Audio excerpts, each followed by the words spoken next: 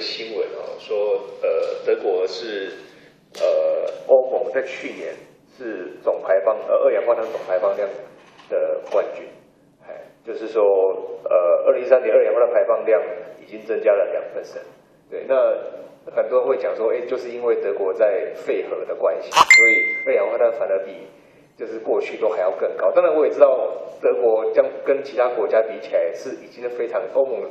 呃，欧盟跟其他国家比起来是很低的，可是有人会用这种方式来做文章，就会说，哎，你看人家废核了，所以二氧化碳就增加，那我们台湾是不是是不是要要想一下这样子？好，那呃，我想要请那个呃，就是呃，就是可不可以分析一下，说呃，德国有没有呃，比如说哪些产业的二氧化碳排放？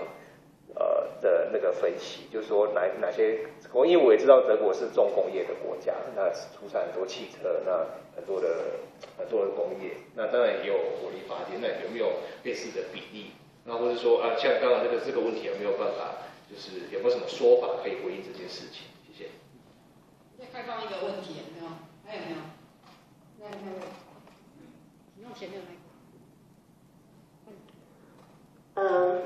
在台湾一讲到再生能源的时候，就很多的生物，然后从从台电开始，他就铺天盖地的就就想说再生能源不行不行，特别是讲到像比如说太阳能的部分，他就想说我们制造太阳能板的时候制造的污染是很高的，然后呢还有它的使用的能源跟呃它能够得到的效益呃是不成。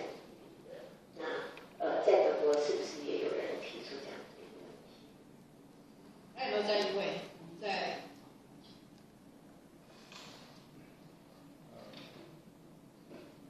是绿色消费。呃，其实我想提出来的就是，每个国家完全同意他讲，每个国家有他的分析。我想我们直接跳到能源或者直接跳到核能的问题是非常笨的。因为要看我们我们的人口，以及我们将来要过什么样的生活，我们决定要什么样的产业，才需要什么样的能源。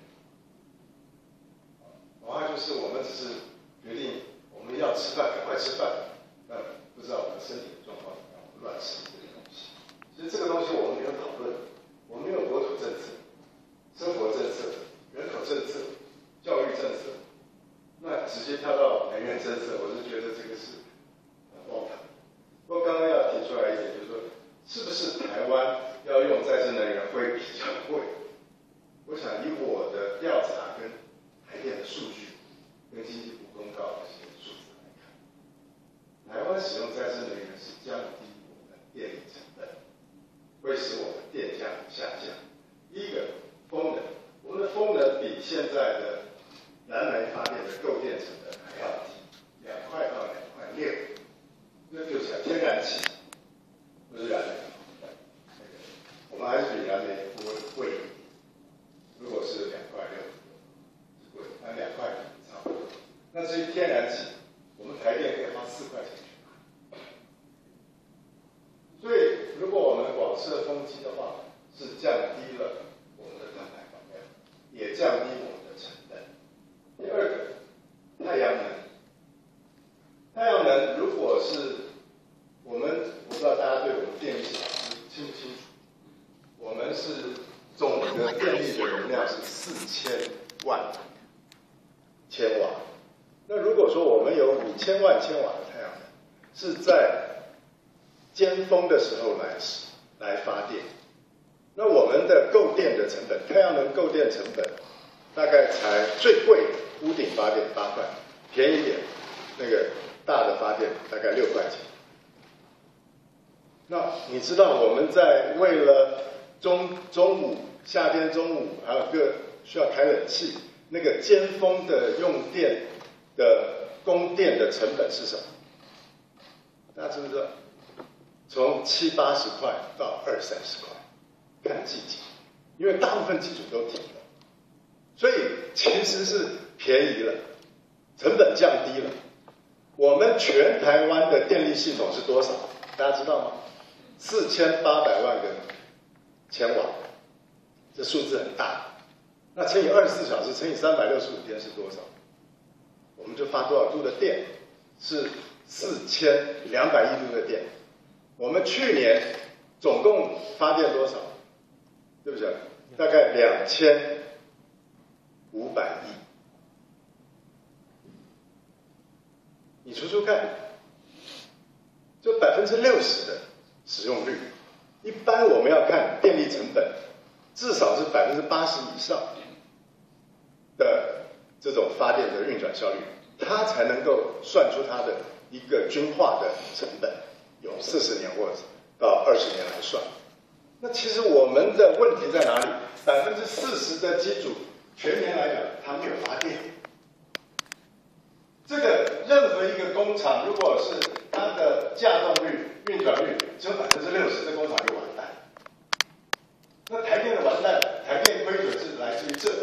还有一个，我们有非常多假性的数字被比骗，比如说我们的这个油，我们好像一公升才三十几块钱，但不要忘了，如果你开车少于一万公里以下的话，你绝对你的成本大概快因为你还有气燃费没有算，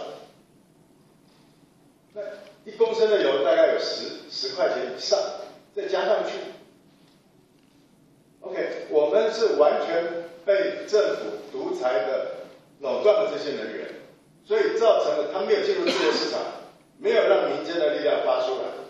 我现在其其实有一个计划正在进行中，就在台西，那有台钢的预定地，就台塑钢铁，两百八十多公顷，再加上当地的余温一千公顷，加起来，然后我们算。一年它可以产生多少的电？呃，可能在这里就是因为抱歉，其实两那个这些三个问题是非常重要，一个是基础的成本，一个是那个那个气候排放量的部分，他们都有关系，就是都跟跟市长的安排有关系。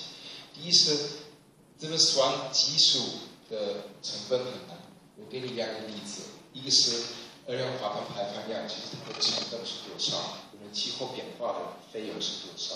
没有人知道，所以这个要算很难。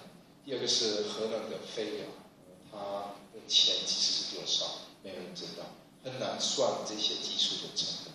一，你刚刚提的意思一样，呃，太阳能源一样，它有的时候可能比较贵，或者没有用，因为没有人知道需要，或者也也没有用。可是白天。因为那个要求很高，在一个自由市场上，呃，加强会很高，所以一个台方会让是一个一个理论的一个计算，非常难算，呃，技术的一个加强。所以我们德国的想法都是越来越让市长决定这些事情越好。呃，就是当然，在德国很多人会说啊，我们的电价太高，我们其实有时不公平。贫穷的家，呃，他们为什么要付那么多钱？呃，有电啊，呃，也可以说，呃，放在自己的屋顶上一个一个太阳板，这个人为什么得到所有消费这个消费者的一个补贴？为什么？这个都可以批评，也是公司，当然他们也可以说啊，我们的能源费用很高，可是，呃。这个跟跟能源的效率有关系。大部分的德国公司，我觉得其实他们跟这个导入呃成本会处理蛮蛮好，因为他们很早时间提供在节约能方面的技术。呃，你看台湾的能源消耗在那个每个呃呃经济的一个岗位里面，比德国高大概两倍。所以虽然可能德国的能源呃成本。呃，一个单位的成本比较可能两倍，就电呃电价台湾高两到三倍，因为我们的能源消耗效率那么高，我们可能跟一个台湾公司还可以做竞争，因为还是一样的成本，效率比较比较高，所以这个都非常灵活的，那个技术的成本、技术的那个费用，呃，还是呃比较相当。你说呃。能源的成分，呃，人会平均，其实有两部分，有有一个好处在，呃，分，在节约能源的部分，当然有一个坏处，如果突然还需要很多。啊，你在如果需要很多能源的部分，这个跟气候当然有关系，气候改变那个二氧化碳排放量。有的行业就是说，钢铁是一个很重要的例子，一些一些大规模的工厂，这个他们没办法呃节约能源，他们即使是这样，他必须要消耗很多的能源。如果政府对他们提供补贴，他们不需要付那个环保呃税。这样的事情他们都不需要，可是这个跟别的问题有关系，我们还没有一个全球的二氧化碳排放量交易制度。呃，德算法三四五年前是说，那通过一个全球的二氧化碳排放量交易制度，那个气候的排放量的成本提高会变高，所以对所有的发电呃公司比较。有效率，呃，就是投资在一个瓦斯发电工厂，它也比较灵活。这样的一个工厂比较合适一个再生能源的呃发电情况，因为它非常灵活。你用一个煤或者一个核能的工厂，它不灵活。呃，核能一直提供给你一个很大的大的那个总量的电，不可以减少或者。交再次提高，这这个灵活性没有，跟一个有煤的工厂一样。所以现在我们发现，那个二氧化碳排放量的交易制度没有，在欧洲也还不成功，它的那个排放量的呃成本太低，因为有的国家的那个经济危机。所以目前的情况是这样，因为那个成本那么低，其实是一个好处投资。但这些不好，那个对气候不好的技术，是一个其实如果政府不要的一个后果。那这么解决还没有一个解决，就是这个是一个原因，什么德国的排放量提高？